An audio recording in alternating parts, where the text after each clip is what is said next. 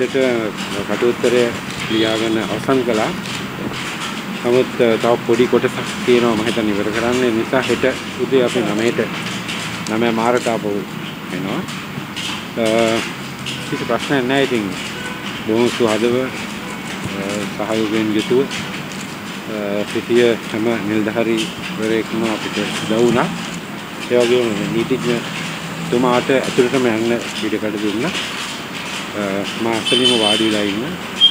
ඉතින් අපි හිට බලමු. ඒ අර වෙබ් සෙමිනාර් එකේ මම දුන්න උත්තරේ සටහන් කරගත්ත අපරු.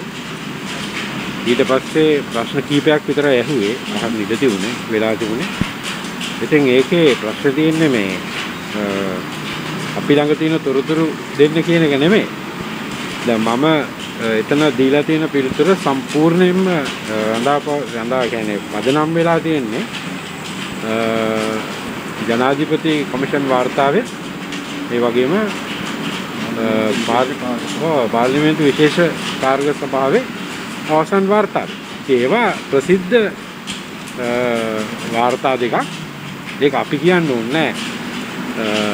CID එක ඒක ඒක ජනාධිපතිතුමා නීතිපති නීතිපතිවරයාට බාර දුන්න එක. අනිත් පාර්ලිමේන්තු කාර්ය සභාව වාර්තා පාර්ලිමේන්තුවට බාර දුන්න එක. ඒක ප්‍රසිද්ධ දේවල්. මෙතන තියෙන ප්‍රශ්නේ.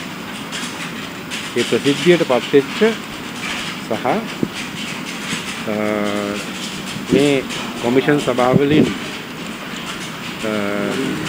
සොයලා බලලා සාක්ෂි විමසලා ඉදිරිපත් කරලා තියෙන වාර්තාවන් වල තියෙන නිර්දේශ අඩු ගානේ ක්‍රියාත්මක වෙන්නේ නැතිකම. ඉතින් ඒක ඒක නීතිපතිවරයා ගතේ තියෙන දෙයක්. නීතිපතිවරයා මම හිතනවා මීට වඩා වගකීමෙන් යුතුව කටයුතු කරන්නට ඕනේ. නීතිපතිවරයාට ඒවා බාර දීලා තියෙන්නේ ඒවා ක්‍රියාත්මක කරන්න කියලා. කියන්නේ නිර්දේශ කරලා දෙන නීතිපතිවරයාට. ඒවා ක්‍රියාත්මක කරන්න කියලා. නමුත් නීතිපතිවරයා ඒවා ක්‍රියාත්මක කරන්නේ ඊටම අඩුවෙන්. තාම ඊටම පොඩ්ඩයි ඒවා ක්‍රියාත්මක වෙලා තියෙන්නේ. ඉතින් ඒ නිසා අපි ඉල්ලන්නේ ඔව් දැන් අපි දැන් ඉල්ලන්නේ ඉතින් ඒ ඒවා ක්‍රියාත්මක කරන්න කියලා. අපි හෙට මේක ඉවරනාට පස්සේ අපිට තව කර කියන්න තියෙන දේවල් තියෙනවා නම් කියන්න.